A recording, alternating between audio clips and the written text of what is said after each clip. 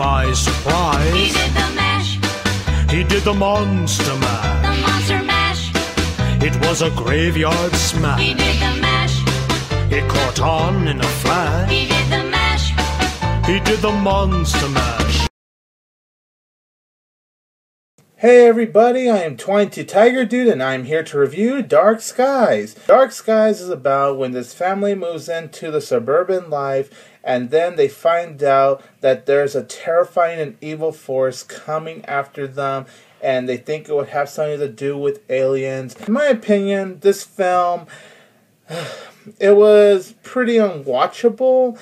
It was kind of a bad movie. It was kind of an unwatchable experience, in my opinion. It does star Keri Russell, Josh Hamilton, and J.K. Simmons. Keri Russell, she does a good job in this film. She was enjoyable.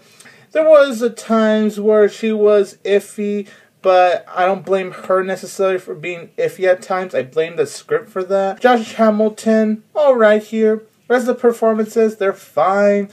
J.K. Simmons, in my opinion, he is awesome here. He is the best part, but he really doesn't appear until the last 30 minutes of the film, and you don't get that much of the guy.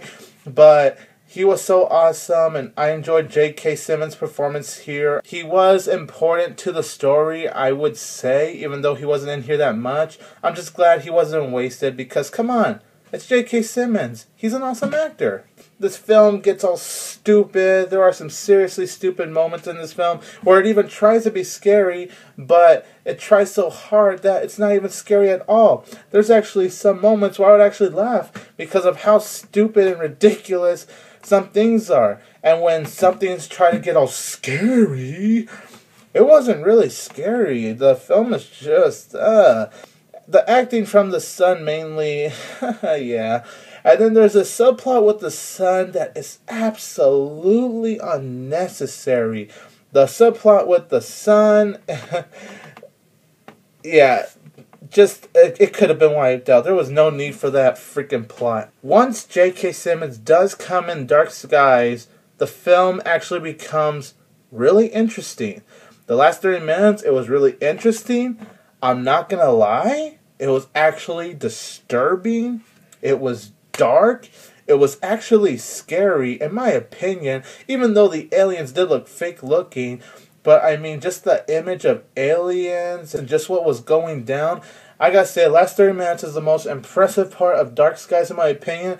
And I gotta say, it did save the film because, like I said, for most of the hour of the film, it was like pretty unwatchable. It wasn't that good, not scary at all, actually. But then the last 30 minutes comes and it becomes really interesting. Oh my gosh, it was like so disturbing. It was actually pretty haunting to watch in the last 30 minutes because it does have a few disturbing images they show. I'm like, whoa, this is PG 13 and they actually went those few disturbing routes. The ending of this film kinda leaves a sequel. I have no idea how that's gonna work. I guess whatever. But if there is a sequel, I hope they do make an improvement over this film. Pretty weak first one hour, but a really interesting last 30 minutes. So I'm gonna give Dark Skies two out of four stars. I'm 22 Tiger Dude, and don't forget that I will always have Tiger power!